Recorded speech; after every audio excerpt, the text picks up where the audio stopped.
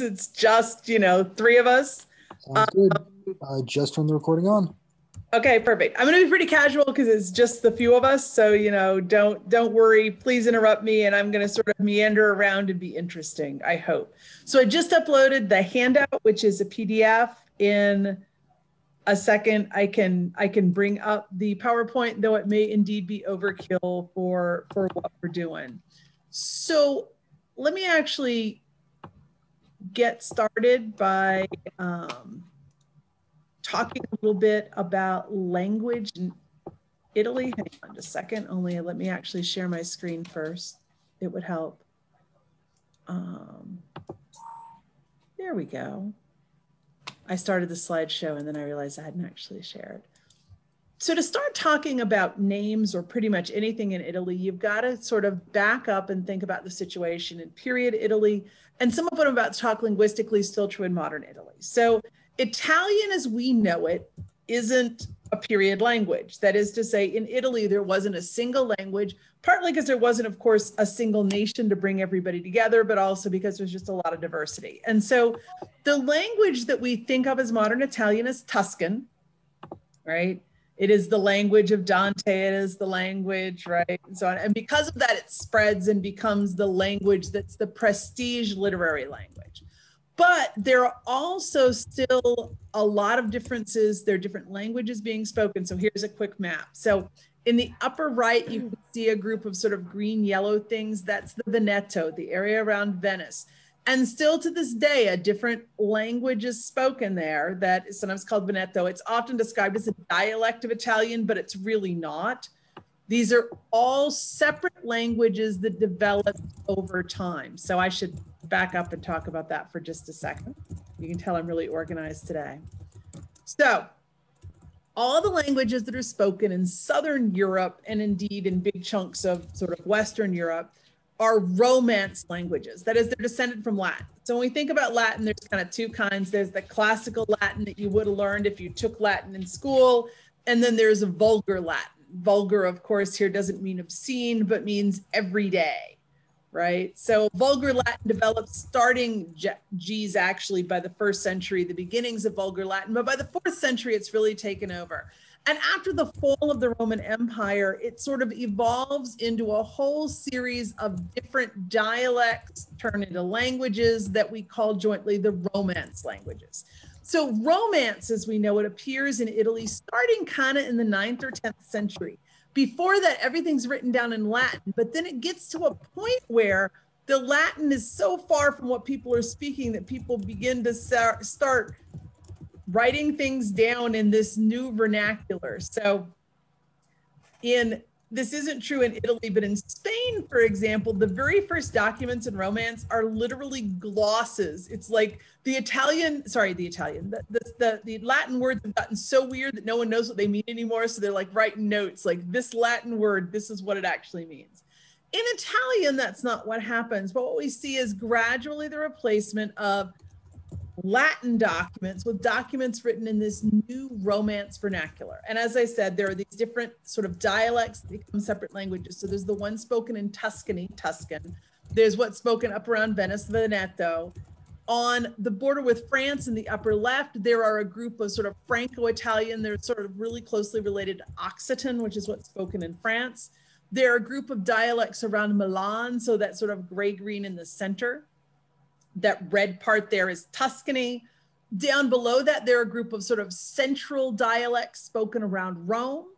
And then south of Rome, we have a group of, of again, different languages. So Neapolitan, the language of Naples in those sort of blue areas. And then as we get down into Sicily and Sardinia and Corsica, we have still different languages. And of course, these languages still survive today as sort of alternates in almost all of these areas, almost everyone speaks sort of modern Italian, right? That Tuscan descended language, but they speak these other things too. And the reason it matters is because there are differences in the ways that names get formed, and there are differences in the ways that choices are made about what kinds of names matter. And some of these differences still come down to the modern day. So different languages. This is actually a modern language map, just to be clear. And you can find modern language discussions of all these. And you can find, for example, dictionaries of things like the language spoken around Venice, Veneto.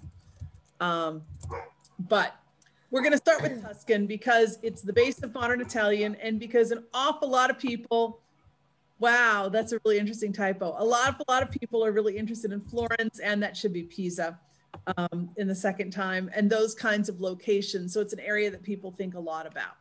So before we get started with names though, let's let's make sure that we actually understand a group of, of ideas. So the first one is the idea of a given name. So a given name is the main identifier we use in everyday life, like Juliana or Antonio or Aisha, right?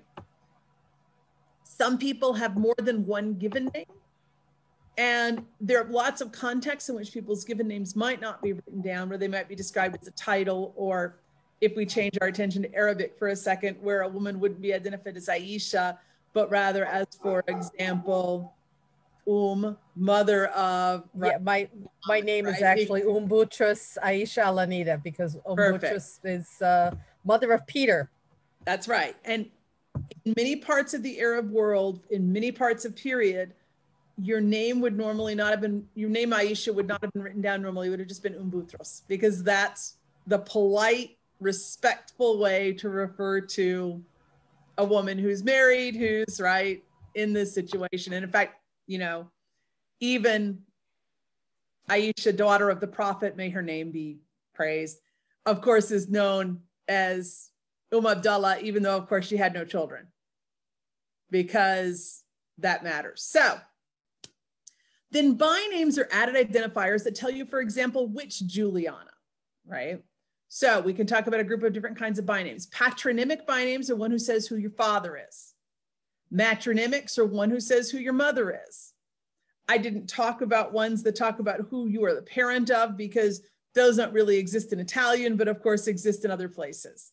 Um, there are marital by names, one that say who your spouse is there are locative by names, ones that say where you come from or live. It can be a place name or a kind of place like of the hill or of the mill, right?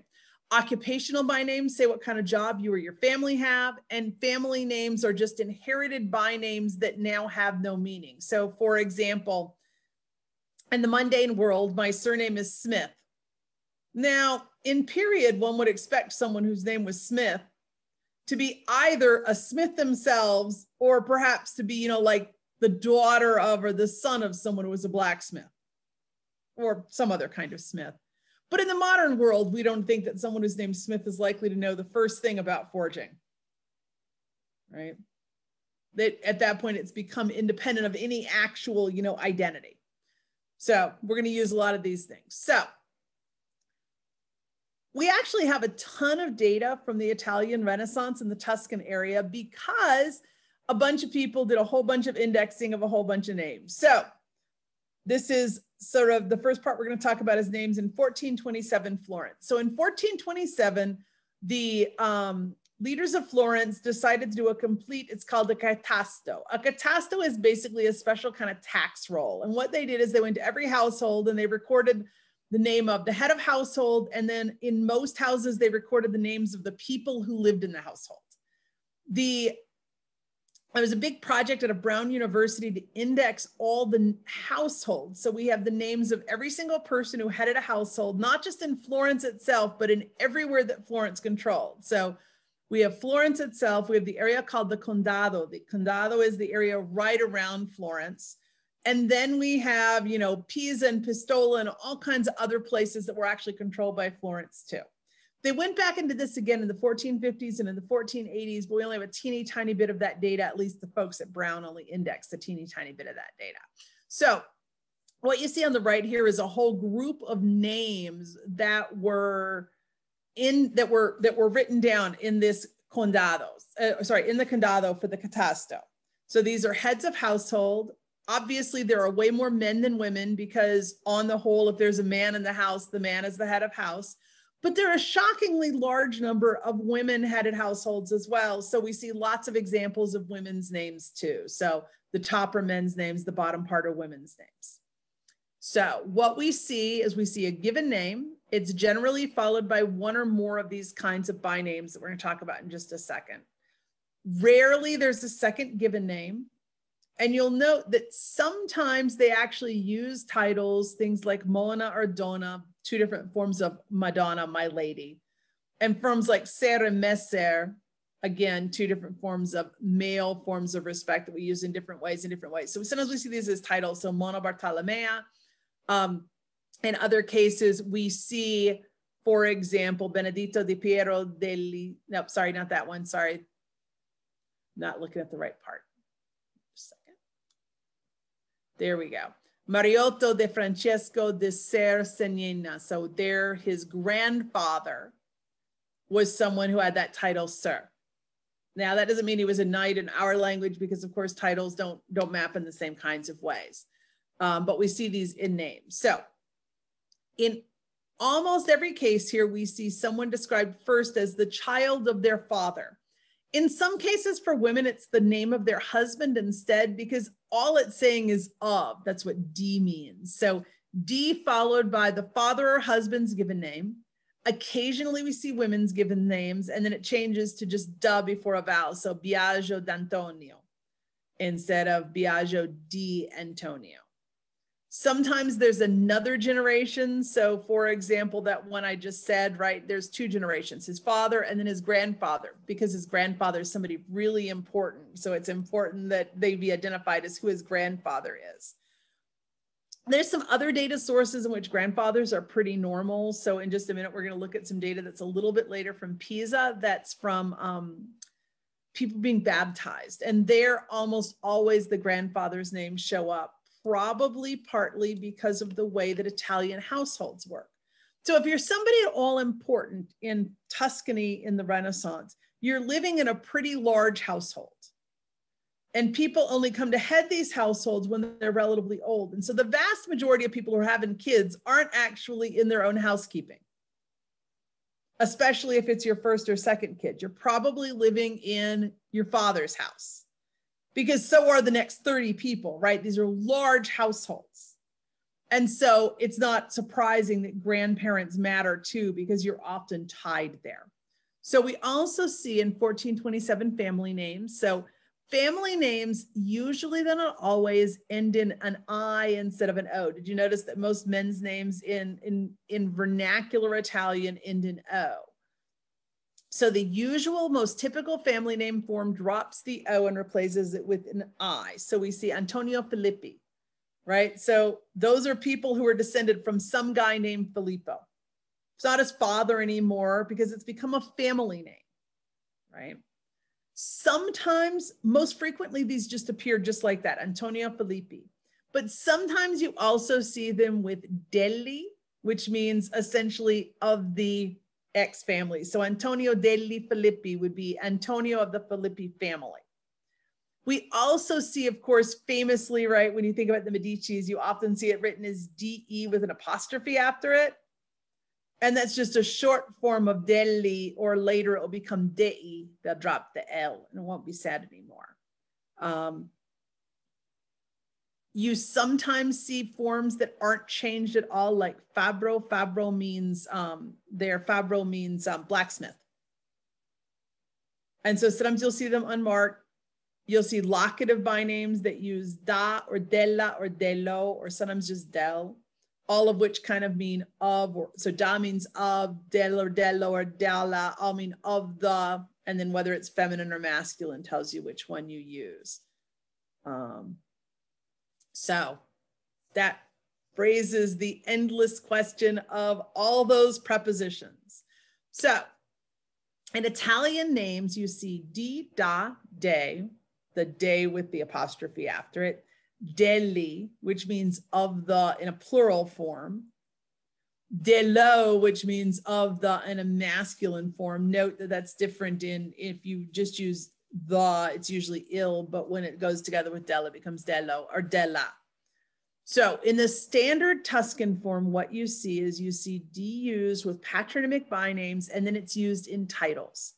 So if you're trying to make a locative byname, you'll see a whole bunch of examples. For example, if you look at a dance book or if you look at a discussion of important people, a huge number of them will be described as D someplace. That's because it's being used as a title. So, for example, you'll see the Grand Ducado di Toscana, right? The Grand Duchy of, or the Grand Duke of Tuscany, right? And in that setting, you use D. But in normal locative bynames, what you use most frequently is da. Why? I don't know, because it's what you do, right? It's grammar. Um, I'm not sure there's any good reason for it because, in fact, in the far south, once you get south of Rome, D's are used, D is used for locative bynames all the time. So it's not like there's something magic about it. It's just in standard Tuscan, this is how it developed. So we see Deli or D-A-G-L-I or D-E-L-L-I uses family names, sometimes Day, often that D-E apostrophe, which is, as I said, a shortened form of it. In Latinized contexts, you often see Day, D-E in place of all of those. Um, and of course, we use of the, use Dello or Dello. In Rome, they're very, very happy being very, we are the Latin people and so in Rome, you often see day used instead of dear da pretty frequently. So let's move down a century. It's really not quite, except it really is. So the next thing we're going to look at really quickly is some a study of a town of, of sorry of names from christenings in Pisa, so baptisms. Now, the reason this moves us a, almost a century forward, even though it's only 30 years difference, is that remember in 1427 in Florence, we're seeing the names of heads of households who are mostly older men and women. Because especially people who are out of relatively elite families don't become heads of their own households until they're 40 or even older right? Until then, they're living with older relatives in many cases. Here, we're talking about babies being born between 1457 and, and even a whole century later, 1557. Here, we see the same kind of pattern. So on the right, we're looking at some actual names. So we see given names followed by one or more by name. Rarely a second given name. There are even some cases of third given names almost always after John forms Giovanni. Um, we see most frequently people described as their father's kid, though sometimes as their mother's kid. So we see things like Antonia di Caterina. So Antonia, who is the kid of Catherine. These are probably in cases where the father isn't on the scene but it's not clear. It might be in a case where the mother is just from a more important family. She's somebody more significant. At the very least, to completely change the subject. We don't know very much about who these parents are, but for example, there's a there's a, been a bunch of really interesting work on the Arabic side, and I'm not just talking about it because you know of your name, but also because I've done research there too, where we really do know that parent, there's lots of cases where we know the fathers are around, we know who the fathers are, but people are described as their mother's kid because the mother's just more important, she's more significant, and so she's the one who gets mentioned. But in these cases where the kids are being baptized, it's probably because the father isn't isn't anywhere to be seen. But we don't know for sure. Stop. Sometimes the grandfather's also included here. As I said, probably because grandfathers are really important for younger people who are having kids. And then we have family names. Again, those usually those family names that just end in E, sometimes with daily. Same kind of pattern that we saw earlier. So not a whole lot of difference. So now let's move a little further south to Rome. This is mostly actually not from my own work. The last bits were actually from articles that I wrote. By the way, there's a bibliography that includes a bunch of them at the end of the handout that I posted. This one is from the work of Mari Inyandonka, who did a great study of a whole bunch of names in Rome. Um, and again, on the right, we have examples of the names. So you can just take a look at what the names look like and how they're written. So again, we're seeing mostly single given names, though some have second given names lots of literal patronymic names, but you'll note D and day just kind of are used in, in great, you know, are used interchangeably. So we see the same guy described in one case as Jacopo di Battista and another as Jacopo de Battista, right? The other thing that's really interesting about Rome is that there are more and more names, especially women's names, that are overtly classical. So you look at Florence, and the vast majority of the names are saints' names Giovanna, Piera, um, Caterina, Margherita. In Rome, they're named things like Camilla, Camilla, right? They have these much more sort of overtly kind of classical names. Um, though also, again, saints' names are really, really kind of typical. Um, so Oops, sorry.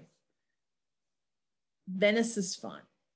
I love Venetian names because Venice is the place where you really see kinds of dialectual differences. So there are a couple of things about Venetian names, and then we can look at some, some sort of collections of names together. So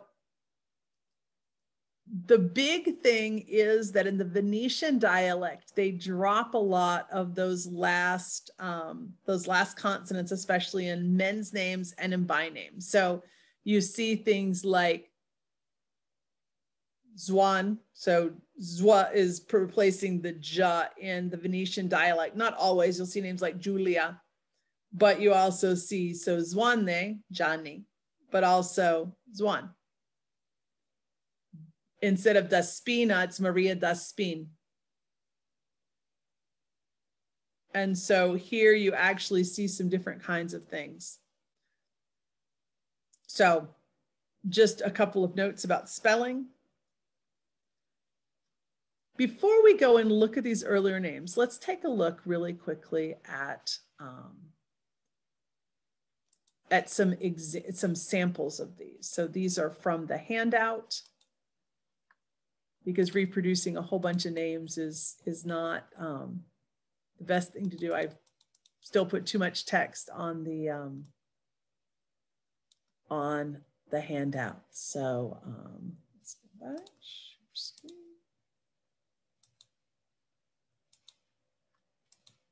You hate me. There we go.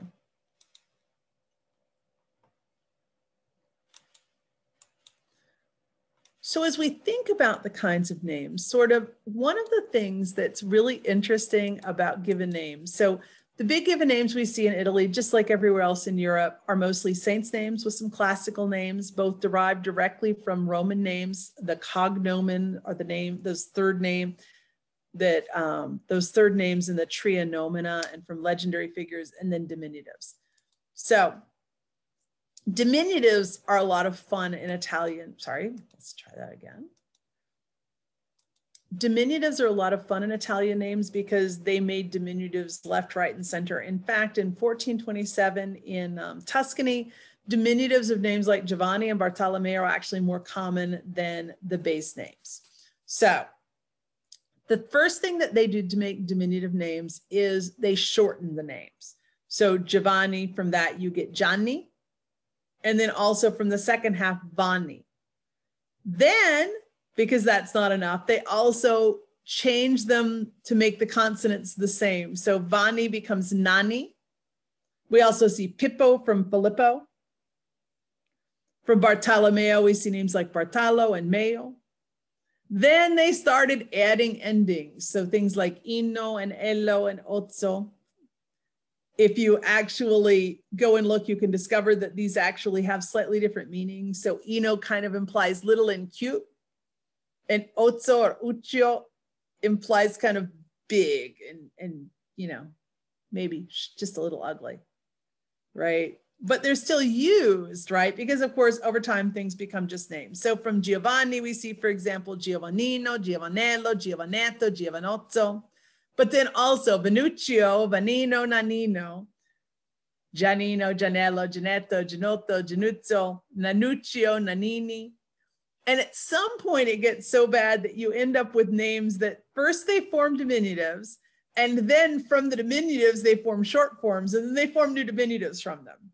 So you'll see names that are things like detto, and you don't know whether it's from, for example, Bernadetto, or whether it's just from some other random name that ended in D, Bernardo, for example, and Bernardo becomes Bernadetto and then Detto.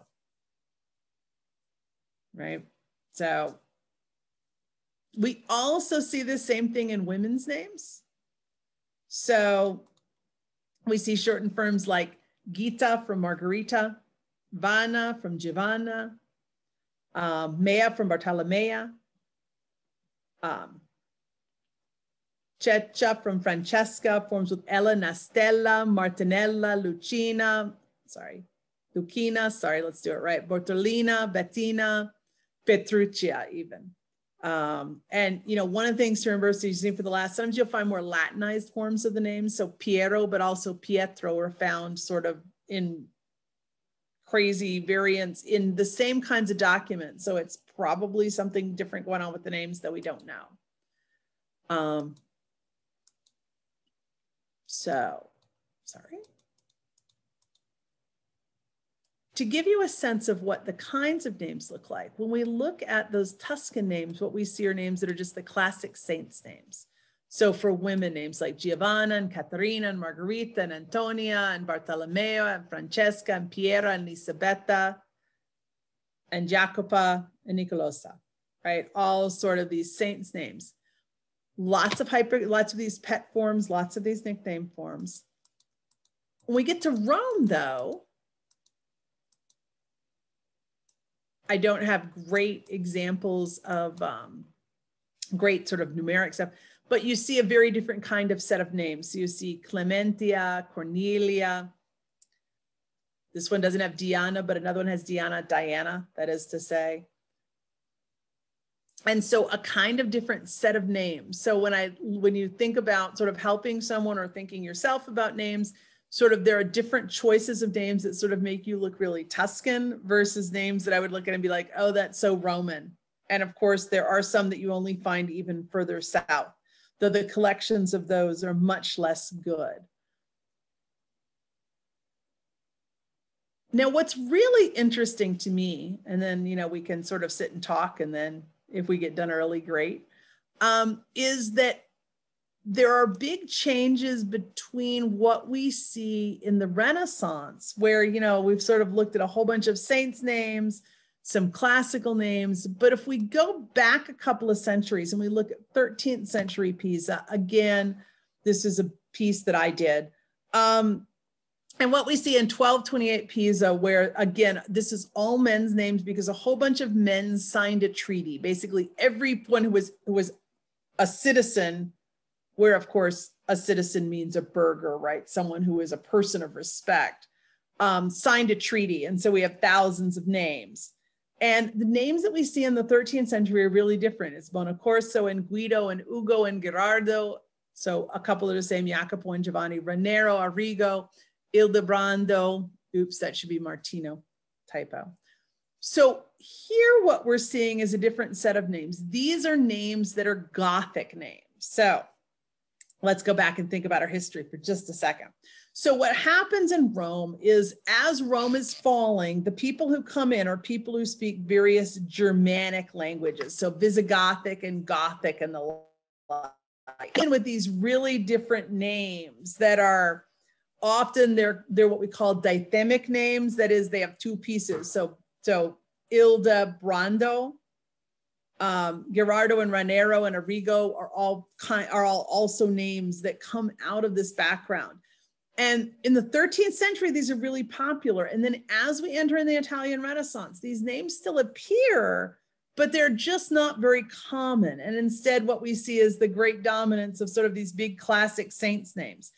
And just to give you a sense of how common they are, the top 10 names in, for example, both in, in Venice, excuse me, both in Florence and in Pisa are like 50% of people. That is 50% of the people have one of 10 names, which might be why all those, all those nickname forms exist, right? Literally one in 10 guys is named Giovanni. That's not an exaggeration. In one of the data sets, it's 11% of all men are named Giovanni or some nickname version of Giovanni. So, you know, you got to do something.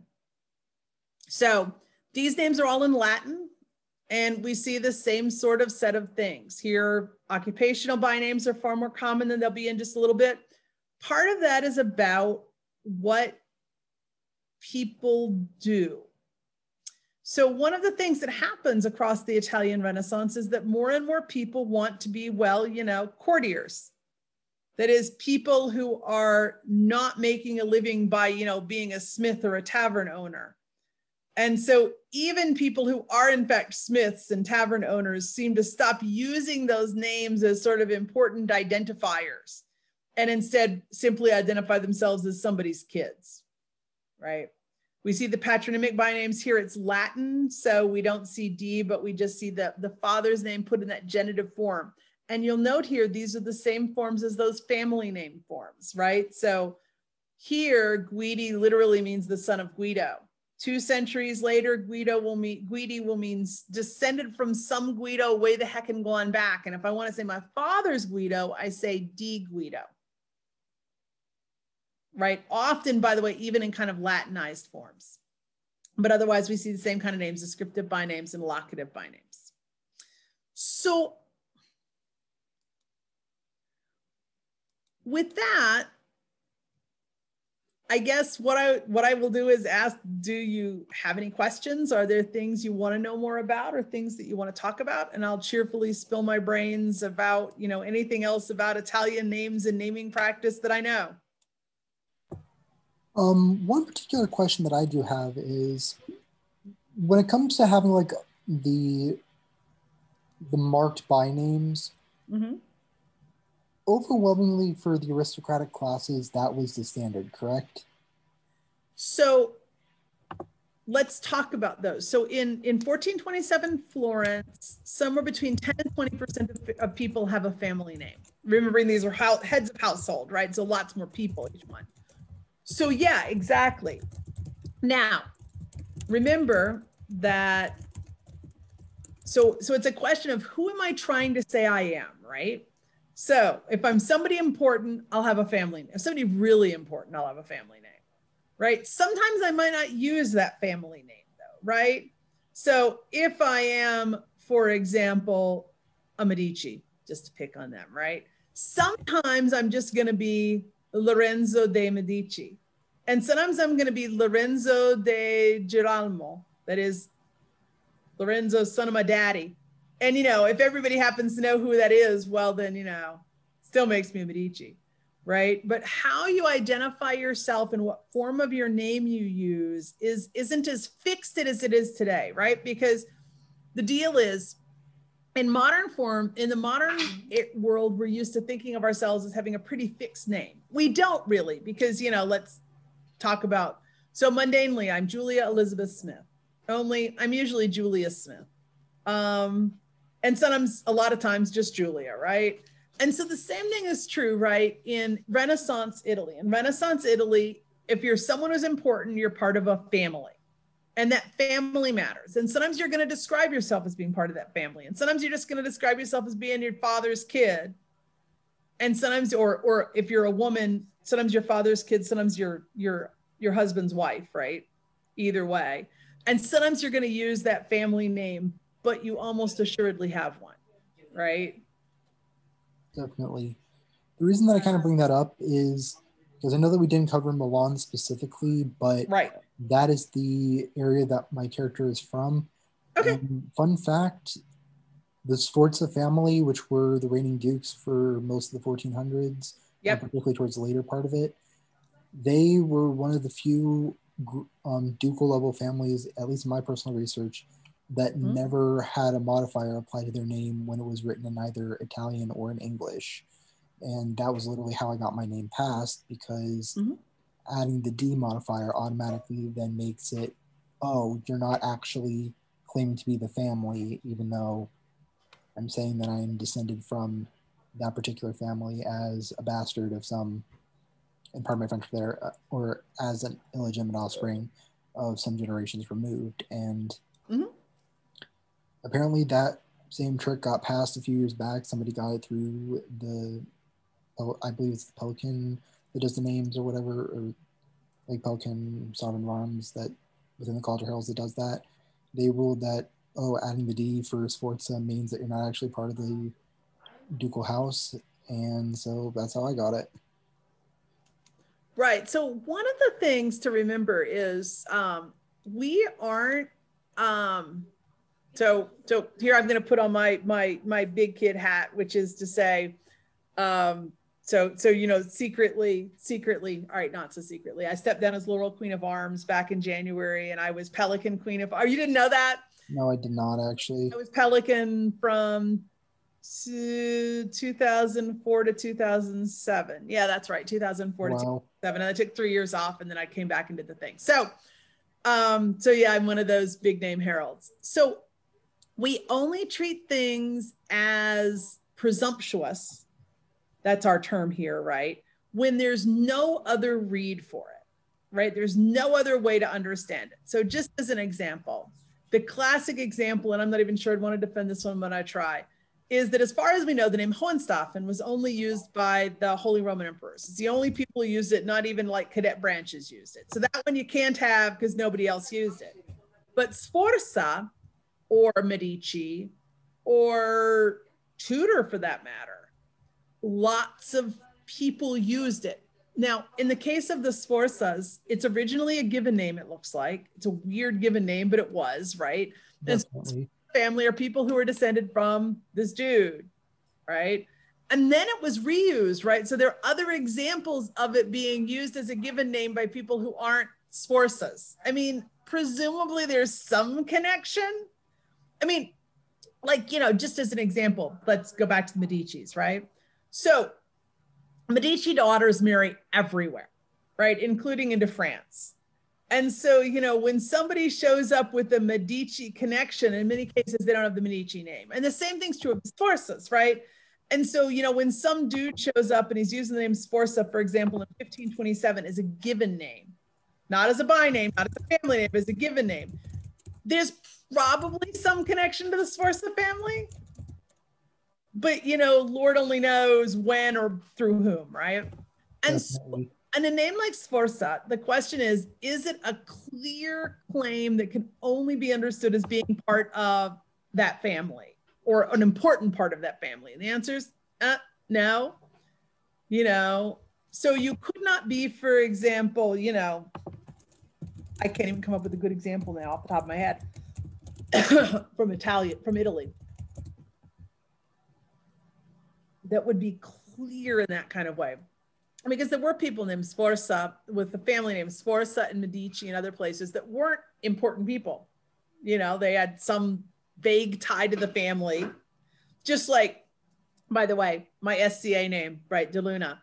The De Lunas are again are really they're not that they're not that high up. Um, my most esteemed ancestor was essentially the equivalent of like um, Wolsey or Cromwell in Tudor England. That is to say, he was a prime minister of Spain, well, really of Castile, because he was he actually served Isabella Cattolica's father. And he got, yeah, he got his head cut off because he was just like Wolsey, just like, well, not Wolsey, oh, wow. lived long enough to get his head cut off, but Cromwell did.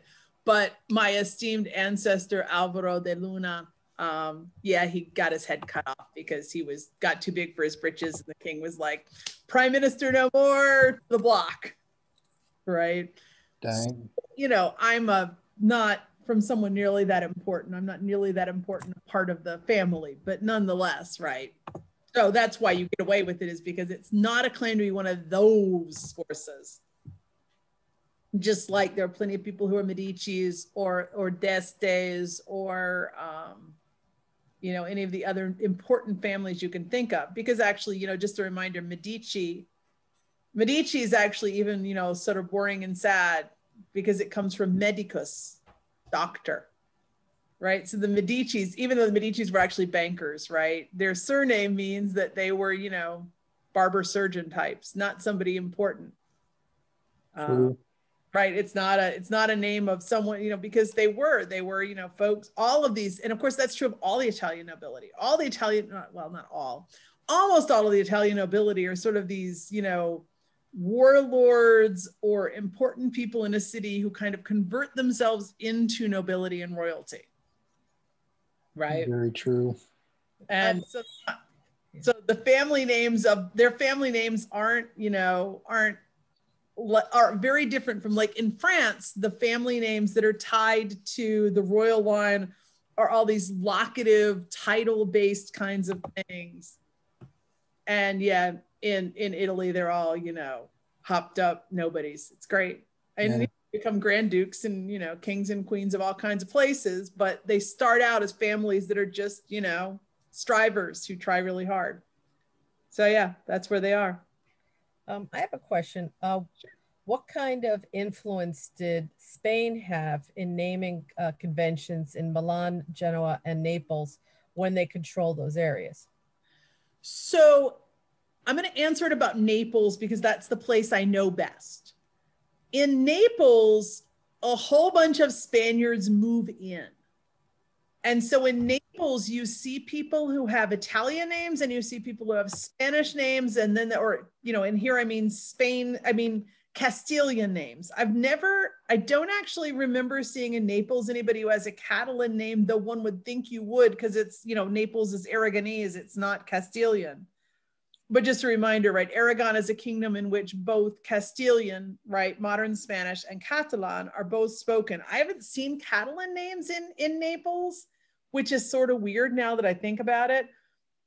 And so then they go back and forth, and you see things that I suspect are Italianizations of Spanish names.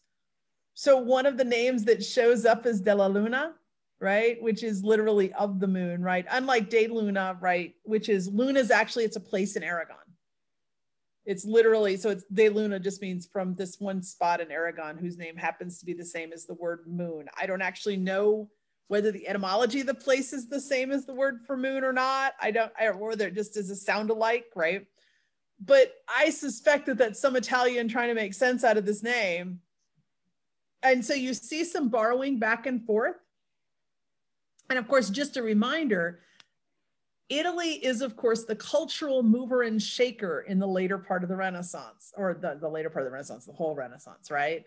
So that, you know, one of my favorite quotes is um, Carlos, so Carlos Quinto, who was king of Spain at the time, is said to have is is said to have said upon hearing of the death of Baldassare Castiglione, right, the author of the Book of the Courtier, that I tell you the greatest knight in the world has just died. Yo vos digo que el mejor caballero del mundo ha muerto.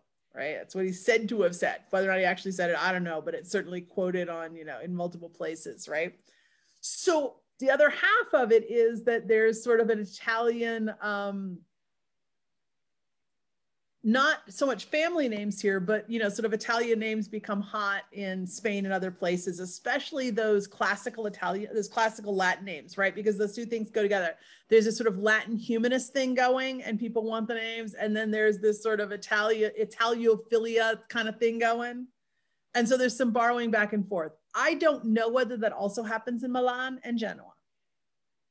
What we do know in Genoa, so in Genoa, what we know is there, and in, sorry, in Genoa, it gets messy because there's actually sort of that Franco-Italian thing going on. So we see Occitan names too, which are very like the Catalan names, which are right.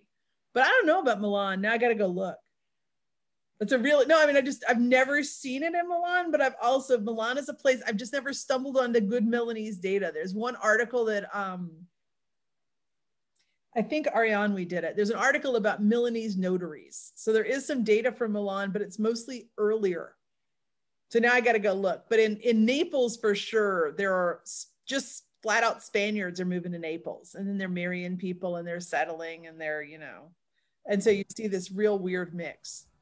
So good question. Um, I also have another question. I mean, it's earlier than Renaissance, but um, Sicily had been invaded by the Arabs and they were there till I think it was like 908 or something, or maybe yep. a little later.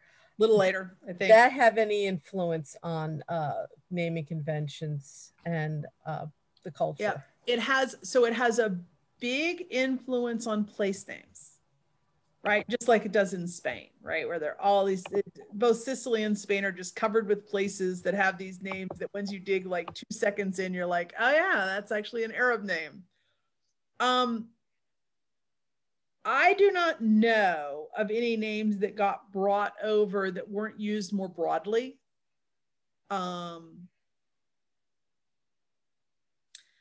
and where you see, so there's a lot of crossover in Jewish names. That's the one place where you see a lot of crossover, right? Because there are really substantial Jewish populations in the Arab world and also in the Romance speaking part of the world. And, and people go back and forth between those areas all the time. Like Maimonides spent part of his time in Cairo and part of his time in Spain.